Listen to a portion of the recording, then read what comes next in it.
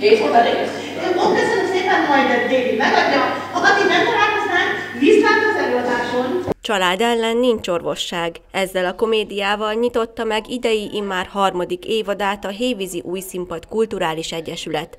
Az előadásokra ezúttal is az Alsópáhoki Művelődési Házban várják a kultúra kedvelő közönséget. A társulat egy igazán vidám darabbal kezdett. A történet egy londoni pszichiátrián játszódik a karácsonyt megelőző napokban, ahol természetesen minden a feje tetejére áll, orvosnak és betegnek is egyaránt megnehezítve ezt az egyébként szép időszakot. A tanulság pedig mindenki számára örökérvényű. Ha valaki megpróbál becsapni másokat, az előbb-utóbb kiderül, de inkább előbb, mint utóbb.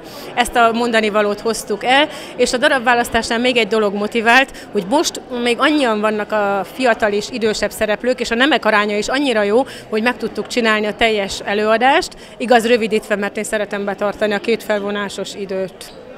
A rendező már négy éve elhatározta, hogy ezt a darabot, mely egyébként a kedvence, színpadra viszik. A darab főhősét német Tamás alakítja, akinek ez az első ekkora volumenű szerepe a társulatban. Így tartogatott neki kihívásokat ez a feladat. A jellem az teljesen más, mint a főszereplőnek, mint ennek a, a, a orvosnak, főorvosnak, és nagyon nehéz volt belebújni nekem ebbe a kicsit arrogáns, kemény, nagyképű figura, és hát próbáltam azért meg, megkísérelni, alakítani ezt a szemét.